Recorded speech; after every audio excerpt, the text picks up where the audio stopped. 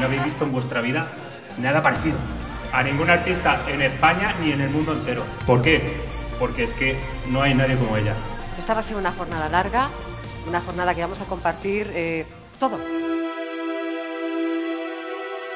Empezamos por el principio. Descubrieron los profesores en el colegio que no es que fuera una pésima estudiante, sino que era vaga.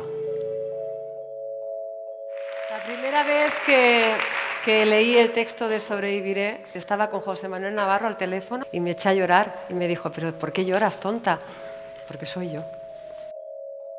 Ese día, Rocío me confesó que se iba. Ese dueto es algo más que una actuación musical, fue una despedida entre las dos. Vamos a presentar la masterclass vocal. Levantar el culo de la silla.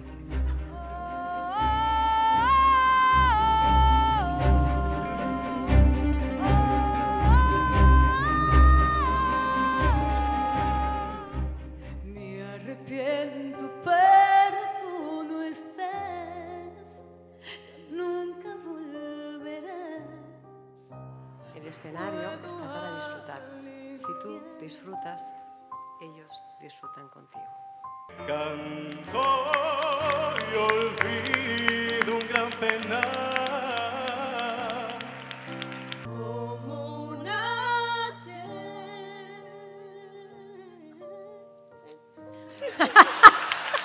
¿Estáis aquí para eso?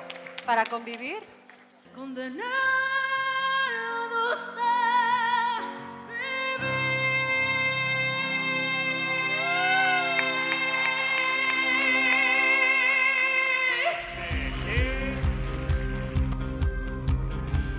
de los motivos por los que yo y mi equipo hemos querido hacer ese tipo de reuniones es para que sobre todo os conozcáis también vosotros. Cuando me escuché todas las canciones, Pantera el Petar, todo esto me fascina. Me acuerdo ir a locales heavies y todos los heavies con sobreviviré ahí con la cerveza en la mesa. Sí, sí. Tenemos un nexo de unión y es la música.